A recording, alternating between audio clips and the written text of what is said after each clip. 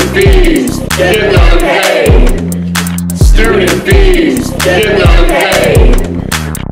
Homecoming, Done! prom, Done! graduation. Done!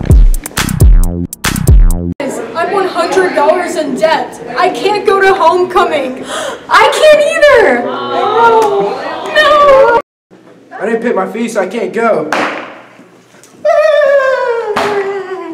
I didn't pay my student fees, now I can't go to homecoming.